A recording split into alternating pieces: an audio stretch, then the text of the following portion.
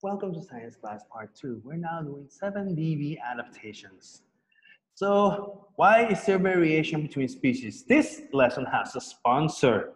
Our sponsor today is Charles Darwin. Charles Darwin was a naturalist in the 1800s who traveled around the world, but he's most famous for going to the Galapagos Island aboard the HMS Beagle, where he studied the variation between different species on the Galapagos Island. Anyway, all right, so we're gonna talk about habitats and environments. Okay, so the conditions in the habitats are the environment. This is the temperature. This is everything that is in there. Oh, okay.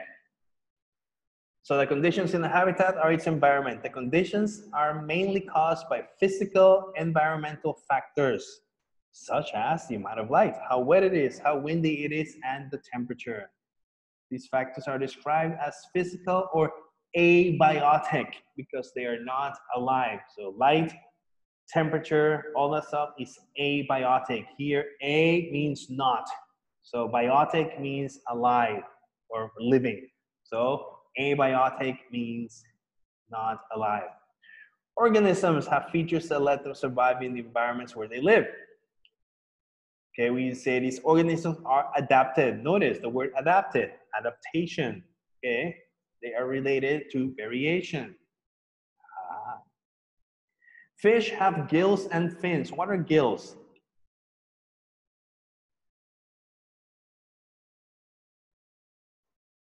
That one? What are gills?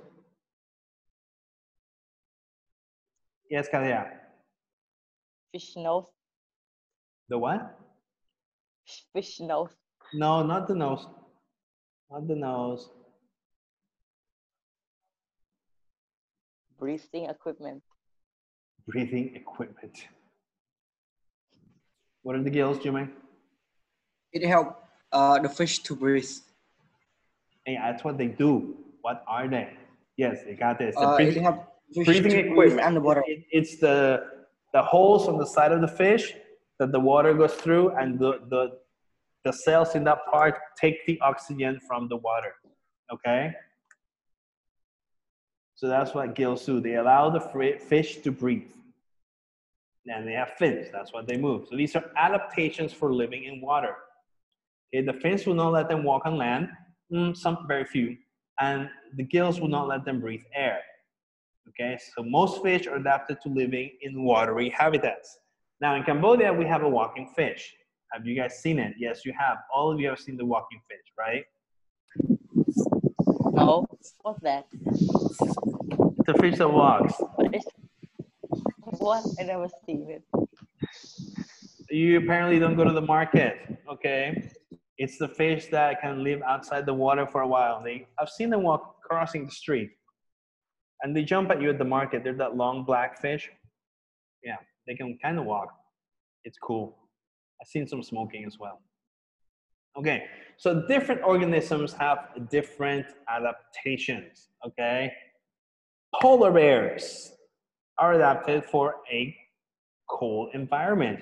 They have white fur for camouflage. So camouflage is so they can hide. So the ice is white and polar bears have white hair. Actually, polar bear's hair is technically not white, it's clear, but it reflects white. And the skin of a polar bear is actually black, so it can absorb more heat. You can see kind of here some of the black showing through, and at the bottom there, okay? They have small ears to stop losing too much heat. Okay, they live in cold. They have to keep the heat in their body. Thick fur to keep warm. Rough soles. Rough, they're not smooth, so they can have. Uh, I don't think any of you have ever walked on ice, but ice is can be slippery. So you need to have something that will hold on to it, and that's what the rough soles do. Okay, the bottom of the paws and large feet to spread out its weight and stop it from sinking in the snow and good for swimming. Okay, if they were narrow feet, they would sink right through and it makes it really hard to walk. Walking in snow is not easy at all. Okay, all right. Cactus or cacti for plural. Question, where are cacti from? The From desert. desert. Uh, it is from desert. The desert. Desert. Where? Uh, where is it from? Not where is it leave um Where is From um some um hmm, what Africa. country is really hot? No, not from Yeah. Africa. Uh, it is from uh, desert, some somewhere that dry, uh, and wait. and there's no rain. Yeah, but where? Uh, the, on the sand. Ukraine the sand. Arab No, not um, Ukraine. Cacti are from the Americas, okay? Only from the Americas. So in Asian deserts, there's no cacti. In African deserts, there's no cacti. So if you're in the Sahara Desert, good luck trying to find a cactus. They are from the Americas. And you guys eat the fruit from some of the cactus here. The cactus was brought to Asia by the Spanish and the Portuguese in the 1500s. And you guys eat the fruit. Do you know what fruit that is? It's something start with dra- AC. dragon Cat- fruit. Dragon what? fruit. The dragon fruit, exactly. Dragon fruit is the plant, it's the flower, is the fruit, sorry, the fruit from the cactus, okay? Uh, so it is not from Cambodia. It is not a traditional Cambodian food or traditional Asian food. It is from the Americas. There are three kinds. There's the uh, pink outside, white inside, pink outside, purple inside. Those are both found here, but there's also a yellow outside with white inside, which is not usually found in Asia. Okay? So, sorry. So the cactus has special adaptations. In the desert, there's very little rain. Okay? Now, cactus have no leaves. How do they do photosynthesis? They do photosynthesis through their stem. They have the photosyn- the cells are in the stem that do photosynthesis. Okay. Now leaves are nice, but a tree loses water through the leaves. Have you noticed that during the dry season in Cambodia, a lot of trees lose their leaves? Have you noticed that? Yeah. That's Yeah. because they don't want to lose too much water because there's not enough water. Okay. Now, they also have spines. They're very sharp. They hurt. They are to protect. So if an animal tries to eat the cactus, they get hurt. So to, it's to protect themselves, right? The roots cover a large area to absorb as much water as possible. This saguaro cactus can absorb a ton of water a day after a storm. They might get maybe one storm a year. Yes, Katia. like uh, when we touch the the when we uh, touch the cactus, does the spine come off? It goes right through you. There is a bird that when it hunts prey, it will bring the lizards it catches and stabs them through the cactus spines, and that's how it stores its food. It is really, really gothic. Okay. Um, the desert, they might get maybe one thunderstorm a year. Okay, so the cactus has to be ready to take in as much water as possible. And the stem stores the water. Okay, so the, you can, some people say you can drink out of it. I've never tried it, but hey, whatever, man. You're gonna do what you're gonna do. Okay, so those are adaptations of the cactus. Now, here we have our next picture. Is a jackrabbit. Okay, this is not your cute little cuddly rabbit that you see people here have as pets. Okay, this is a jackrabbit. This puppy can run like really, really fast. Okay, it has large ears to allow heat to escape. The faster you run, the more heat you put out. You need your ears act as a heat sink. Okay, so they can let the heat, yeah, the heat escape and improve the hearing. Lots of things want to eat it, so they need to be able to hear very well.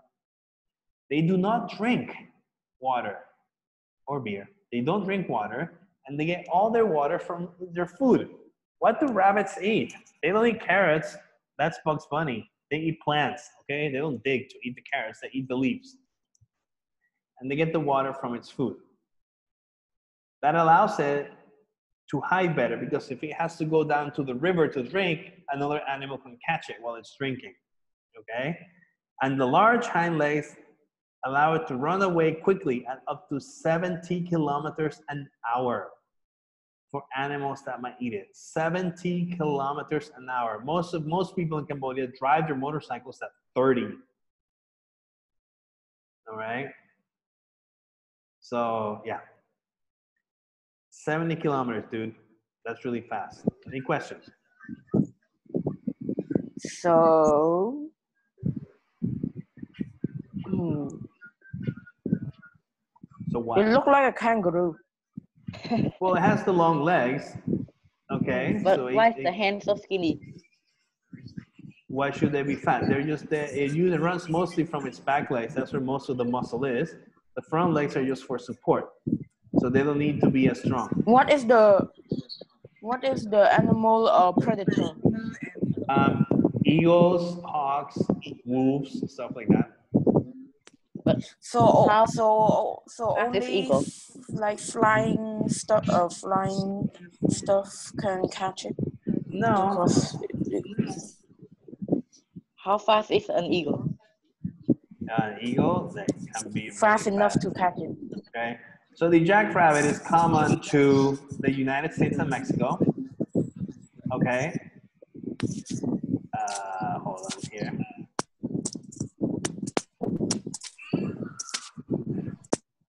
Okay. The let me find some info here. The jackrabbit is common to the U.S. and Mexico. There's two kinds: black tail and white tail. Okay. Uh, they're when their babies are born, they're born with the eyes fully open, unlike other animals, and they can run within minutes of being born. Okay, so the mothers don't need to protect them so much, except when feeding. Okay, they do not migrate or hibernate, uh, and they eat small trees and, and herbs, shrubs. Animals that, that attack are eagles, hawks, owls, coyotes, foxes, and wildcats. Okay. So there's a lot of stuff tries to catch them, so they need to be able to move fast. All right. So that's why they have those adaptations. Okay. So those adaptations that we see here are physical adaptations, okay? They're changes to the body. All right. Now, what are some adaptations that humans have? We have some pretty cool adaptations that no one else, that nothing else in the um, environment or in the planet have.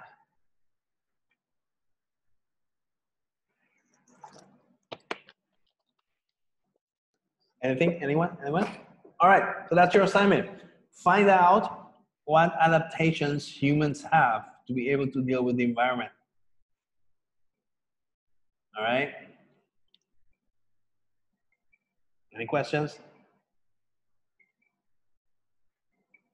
No? Okay. Yes. Wait, what? Um. So we need to find the adaptation of hu- humans. So we need to find um what what happened how what the you know What, what are some adaptations that humans have? Yes, and if you copy and paste a Wikipedia article, I'm going to automatically fail you. I can tell when you copy and Uh, paste. Yes. Okay. uh, so Uh, some our human is hip. from the desert and some from the no. Okay. Arctic or some some stuff. What adaptations do humans have? Before you start Googling, I suggest you think about it. Okay. Hmm. Compare yourself to your dog. What adaptations Okay. do humans have? All right. Mister, uh, we do on Google Doc. Oh God, yes. Yes. Oh my god. All right. All right, we're done. I gotta go do the other class. Mr. Jorge, Mr. Jorge, um, the map, um, the measure, the hand measurement. I thought I already sent you the. Yeah, you sent it already in, Oh, in proper format also. So you didn't follow the instructions either. Anyway, all right. I gotta go.